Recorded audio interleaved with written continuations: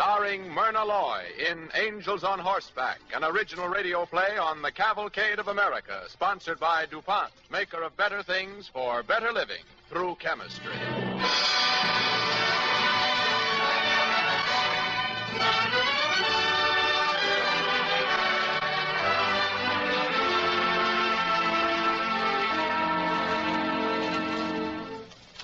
Our play on Cavalcade tonight tells the story against the background of a little known but heroic work that has been undertaken by a group of determined and courageous women.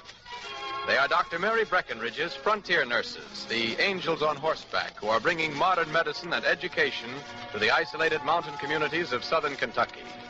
The story we have chosen for our star is, of course, a love story. As the lovely Jane Eaton, Miss Loy will play the role of a society girl who finds love and a life purpose among the simple, primitive folk of Kentucky's hills. DuPont presents Angels on Horseback with the Metro Goldwyn Mayer star Myrna Loy on the Cavalcade of America.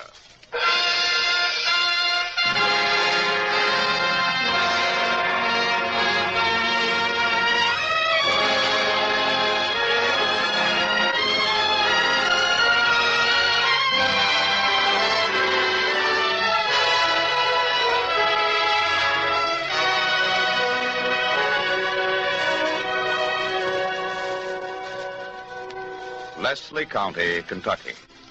The spring of the year. Along a mountain trail that winds slowly downward into a quiet valley, a uniformed nurse and a young doctor ride side by side, taking their time in the descent, for their horses have carried them a long way today and are growing weary. Well, George, what do you think of me now? Will I do? You were fine with Mrs. Napier, but you shouldn't have laughed at old man Teakettle's mumps. It wasn't his mumps. It was his name. Jeremiah Teakettle. Who ever heard of such a name? Well, that's a very old and respected name in these parts. Teakettle? I don't believe it. You know, I wonder about you, Jane. Are you sure you aren't just doing this work down here for a lark so you'll have some stories to take back to New York? I told you I was never going back. And I meant it, George. And what about that fella you were engaged to, that society doctor? It's all over between me and Elliot. I meant that too, George. Uh-huh. Why do you say that, like that? Well, in the movies, when a girl quarrels with the man she's engaged to and runs away, he usually comes to rescue her. But this isn't the movies. And besides, I didn't run away. I came here because I wanted something Elliot and his kind of life couldn't give me. And what was that? Well, it's hard to explain. A chance to be useful, something like that. Oh, look, we're almost home. Hi there, Miss Eaton. Hi, Doctor. Hello! Who's the visitor, Joe? I never seen you before, madam. He says That uh, horse doesn't belong at the center. Wonder whose it is. I wonder. Come on, George. Yeah, let's go. Yep. Oh. Oh, there. Oh, boy. Evening, Joe. Evening, Miss Eaton. Evening, Dr. Morgan. Evening, Joe.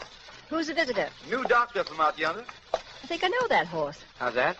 Come on. We'll find out for sure. The boss lady's inside, Miss Eaton. She's asking for you. Thanks, Joe. Well, Eaton, we'd give me up for lost. Hello, Dr. Morgan. Hiya, boss lady. Sorry to be so late. Mrs. Stanton surprised us. It was twins. Miss Eaton came for me to help. I hope you can put me up for the night. Well, if you don't mind bunking in with Dr. Jameson. Elliot Jameson? Oh, yes, he's waiting in the other room to see you, Eaton. Oh. Oh, thanks. I, uh, I'd better see him right away. I'll type out my report after dinner, Doctor. No hurry. So her polo playing knight has ridden out of the north to rescue her. Looks that way. What's he like? Mm, about the way you expressed it. Breezy, handsome, English riding boots. The kind of a dude you'd expect Eaton to be rescued by. Now, boss lady, I don't like you to talk like that about Miss Eaton. She's been trying hard to do a good job down here. I don't think any of us are giving her half a chance. Well, what'd she expect us to do? Hire a rumba band to play at dinner so she'll feel at home? Anyway, I guess the boyfriend will take her on back to New York with him as soon as she's impressed him with her Florence Nightingale qualities. Not if I can help it, she won't. Oh? I didn't know it was like that, Dr. Morgan. Well, it is. Just like that. And don't forget it. Here, here, where are you going? I thought you were going to stay the night. Well, there's a full moon. I reckon I can make it over the mountain. I get it. Well, good luck, Doctor. Thanks, boss lady. Good night. Well, well, well. Hmm. Oh, Doctor, did Eaton get back yet? I wanted to show her this lab report on Mrs. Willis' blood sample. That's her patient, isn't it? Yes, you'll find her in the other room. Oh, and uh, tell her I wanted to go the rounds tomorrow with Dr. Morgan.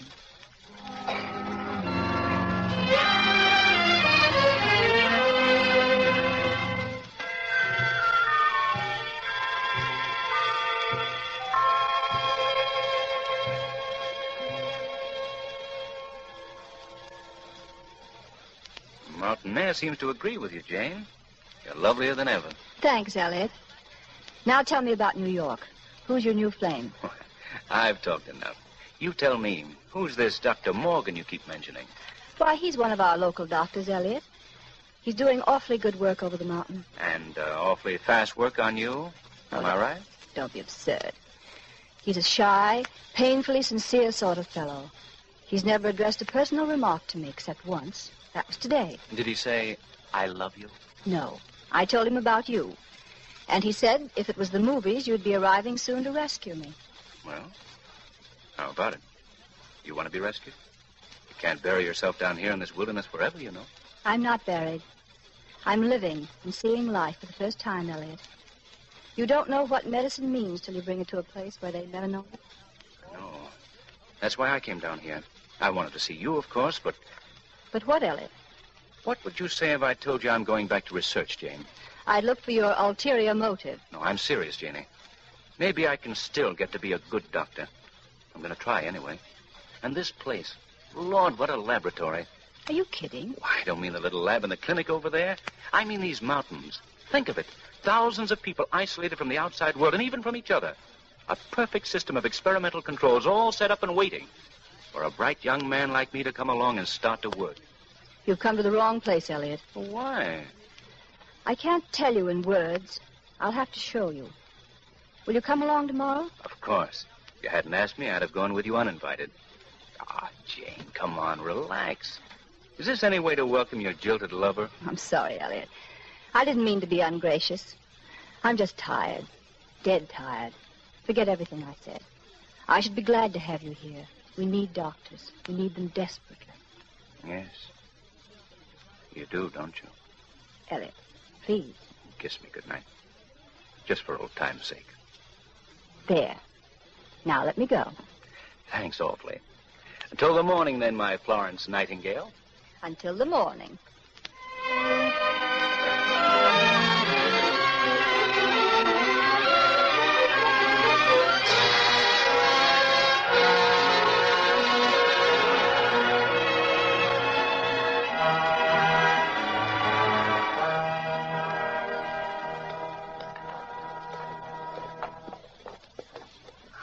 How much farther is it, Jane? That's the place just below us. And there's Dr. Morgan. Hey, George! Wait for us! Jane! Where'd you come from? Oh, oh, oh. I'm glad we didn't miss you. Dr. Morgan, this is Dr. Jameson. Glad to meet you, Doctor. How do you do? Dr. Jameson is from New York. He's going to stay down here for a while and help us out. Oh, well, that's nice of him. Well, come on in. Rest your horses. Well, thanks, Doctor. I'm glad you come over this way today, Jane. News just came. There's an epidemic up at the pass. Same trouble as last year. I saw the report of the one last year, but uh, is this one as bad as that one? Worse. Jane, what a stroke of luck. I thought I might have to wait months before this happened. I don't follow you, Doctor. We don't consider an epidemic to be good luck in these parts. George, he doesn't mean it that way. You see, Dr. Jameson is doing research. Well, Dr. Jameson, maybe we better understand each other right now. There's not going to be any research, plain or fancy, on my patients. We'll just treat as many as we can the best way we know how and pray they all get well. But you probably couldn't get around to all of them anyway. We'll just assume we can, Doctor. Do I make myself clear? Look, we're all agreed on the main thing, aren't we? We want to stop the epidemic. People are dying. People are dying all over the world. So what? We can either learn something from this to help the rest of humanity, or we go out, hit or miss, and maybe save the lives of a few hill people. Now, which is the most important? To tell the truth, Elliot, there's only one thing that's important to me right now. And that's doing what we can do right now to help those people up at the pass. All right, then, Jane, if that's the way you want it, that's the way it'll be. But I think Dr. Morgan and I are going to have to understand each other a little better before this is over. What do you mean by that, Jameson? Nothing. Just that, Dr. Morgan.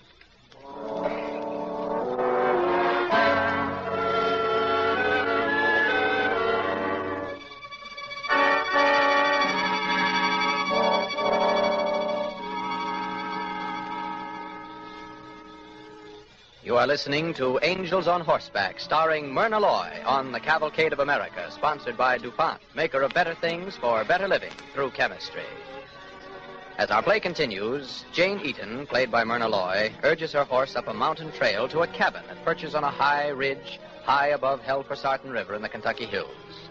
Medical kit in hand, she dismounts, raps on the door of the tiny cabin. Who's that? It's Miss Eaton, Mrs. Napier. The nursing lady. Thank the eternal you come. Is it your least one? Yes, poor little mite. She's nigh out of her head with the fever. Yes, I see. Miss Eaton. She ain't. No. She's in a coma. You mean asleep like? She's very ill, Mrs. Napier. I'm afraid I'd better have one of the doctors look at her. One of the doctors. Is there two doctors down at the Bow now? One's a friend of mine. He's just visiting. Well, as long as he's a friend of yours, Miss Eaton.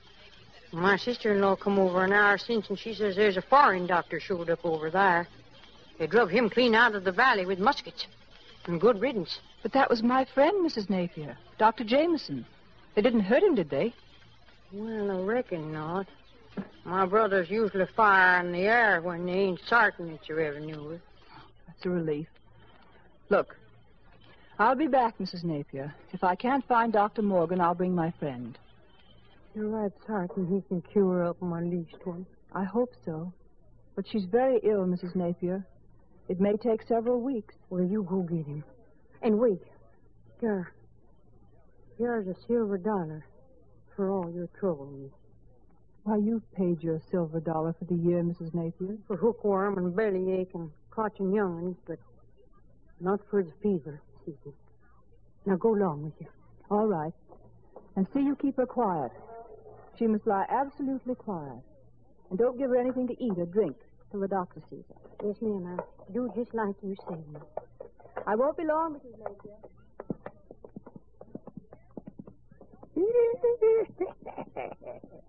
Powderly.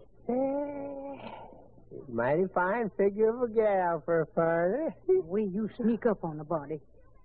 What you want in these parts? Well, I, I heard tell over the mountain that he was uh, right smart of a feverish misery raging up here. So I, I come to help out, like. Why, you ain't no fitting Dr. Clem Powderly, and you know it. Nursing gal is going to get a real doctor for my least one. Oh. How quick did she say he could cure? Uh, Maybe two weeks. just like I thought. Why, for, for a dollar, I could cure her up in a couple of days. Couple of days. Yep. That's what it said. Right, right to this here tea here. It, it, it's got a printed label. Yep. And it says right here in print, it says, Oh, you This can't tea- read no more than I can.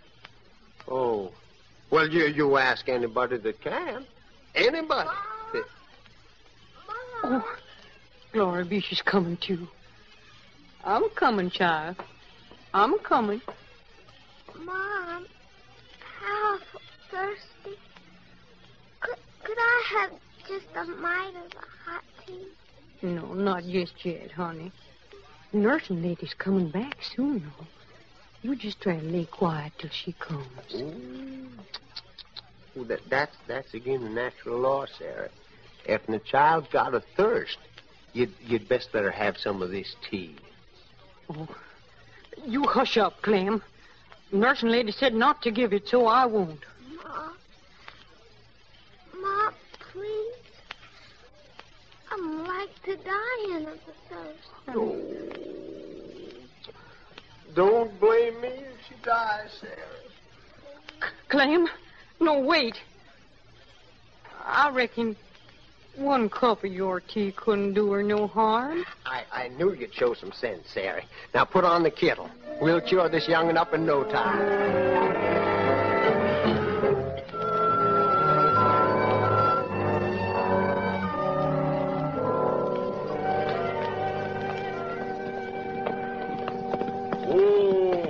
This is the cabin, Elliot.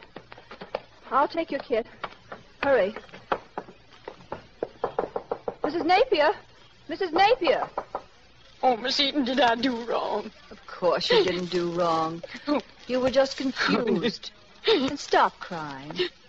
She's going to live, Mrs. Napier. I know she is.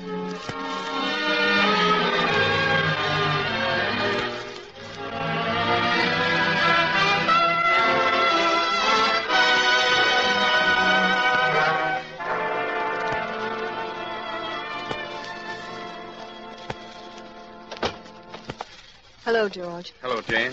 Howdy, Jameson. Oh, Morgan. Elliot had trouble. They thought he was a revenuer. Ah, I heard. I was with the little Napier girl, and I had to get help quickly. Elliot was here. Oh, you needn't make excuses for calling Dr. Jameson. Think he's a better doctor than I am. No, wait a minute, Morgan. Shut up, Jameson. I'm not talking to you. That was hardly a fair question, George. Well, I'm sorry, Jane. I've had a bad day.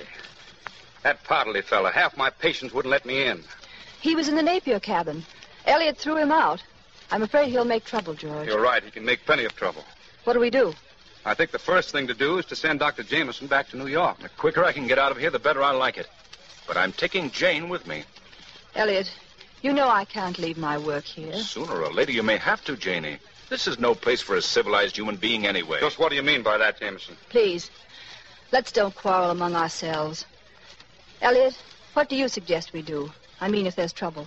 Morgan, did you say this quack Powderly had covered about half your territory? Just about. Then let him keep those patients. Elliot, you don't know what you're saying. Yes, I do. Can't you see? This is the luckiest thing that ever happened. We've got them split 50-50. Check Clem's results against ours, and we've got it. We've got what, Elliot? The thing I came down here to find. It's the situation every research man in medicine has dreamed about. It's not quite as simple as that, Elliot. We've worked for a long time to build up the trust of these people, and we're not going to lose it now. Not without a struggle. You call it trust when they go over to the first witch doctor the minute there's real trouble? We'll win them back. Besides, there's something so much more important, Elliot. What? Babies. They trust us with them. And that's the biggest beginning you, could, you can make in medicine. Let me tell you something, Elliot. Before the frontier nurses came here, 40 out of every 100 babies was lost in childbirth. Now we lose one in a thousand. That's as good as your best hospital record in New York. Better than most. But, Jenny, I guess. George, do you know who it is? No. Uh, better stand away from the door. I'll see who it is. Oh, uh, Dr. Morgan, now you stand to one side. We don't want to harm you. But where's that foreigner hiding? You want to see me, Powderly? Yeah, grab him, boys. Oh, what's this? Oh, foreigner, step lively. Bring him outside. Wait, where are you taking him? Uh, not fur. Not yet, that is. I brung some of the boys down from the pass. They want to have a look at him. Boys, what do you think of it? Bring him up. Now, wait a minute. Please. Bring him up, boys. Will you listen to me for just a moment? Yeah. Will you be quiet? And stay quiet and listen to me. You're acting like a bunch of ornery polecats. You come here screaming about a foreigner beating up on Clem Powderly. Well, where's Powderly from?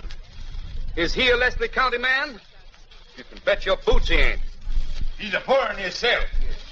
All right, go on home.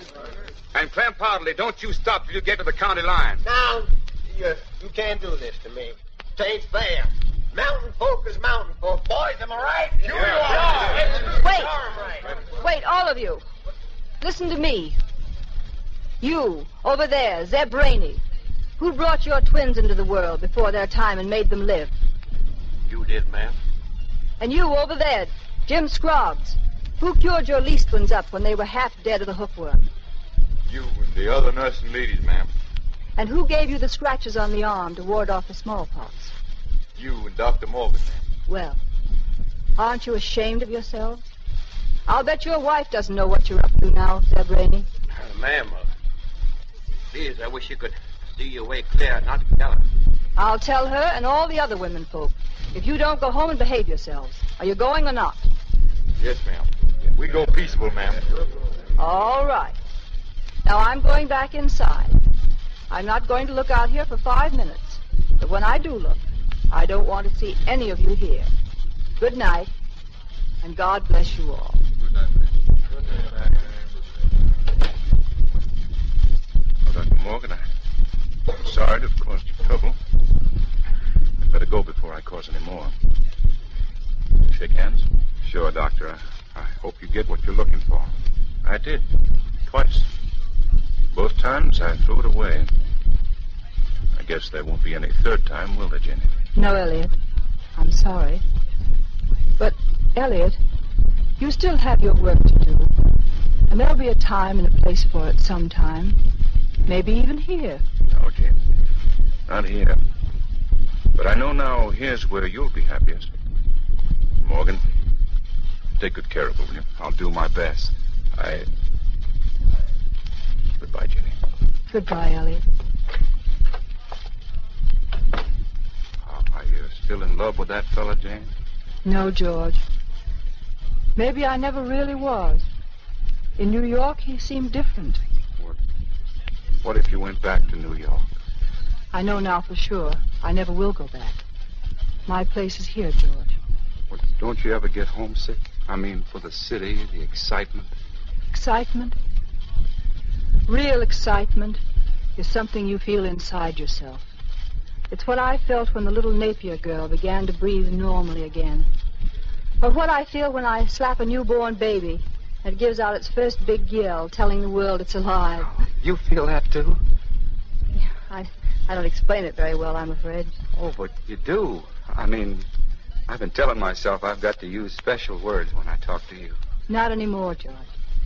Uh, Jane, I was thinking if uh, you are going to stay here in the hills, uh, I'll be staying on here in the hills. And uh, if you get lonesome over there, why, I'll be over here. I mean, uh, will you marry me, Jane? Of course I will. But, uh, Oh, I'm right sorry busting in like this, Doctor. My wife. Time comes sooner than we looked for. Her. She's punishing something terrible. well, I'd better ride up there with you right away. Yes, well, uh, no offense, Doctor, but you know how women folks is. Miss Eaton had attended her afore. I hate to ask any lady to go up there this time of night. It's all right, Mr. Rainey. My horse knows every stone on that trail. You go back to her, Mr. Rainey. I'll ride up with Miss Eaton. That's right good of you, Doctor. Thank you. I imagine you're going to see Miss Eaton and me riding those trails together quite a lot from now on, Mr. Rainey. Isn't that right, darling? Yes. Mr. Rainey, you see, Dr. Morgan and I are going to be married. Great day in the morning. and you all had better do as I say from now on, because I won't be a foreigner anymore.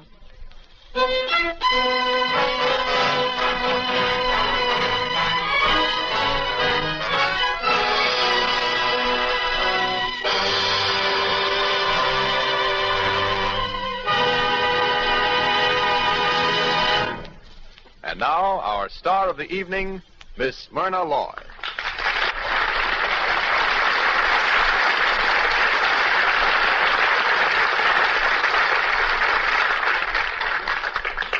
Thank you, Mr. Collyer.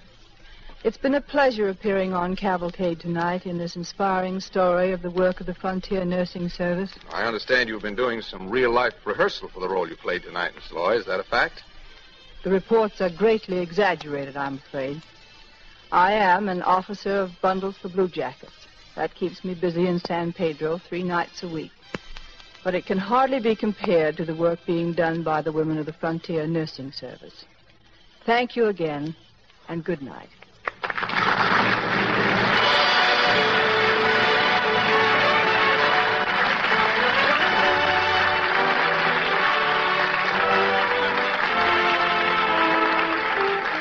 Next week, ladies and gentlemen, Cavalcade will present the lovely motion picture star, Ingrid Bergman, in one of her rare appearances on the radio. The play we have chosen for Miss Bergman is The Silent Heart, and it's based on an unpublished story about Jenny Lind by the distinguished American writer Carl Carmer. Don't forget, next Monday, Ingrid Bergman in a new radio play called The Silent Heart. Appearing with Miss Loy in tonight's play were William Johnstone as Dr. Jameson and Kenneth Delmar as Dr. Morgan. The orchestra and original musical score were under the direction of Don Voorhees. This is Clayton Collyer sending best wishes from DuPont.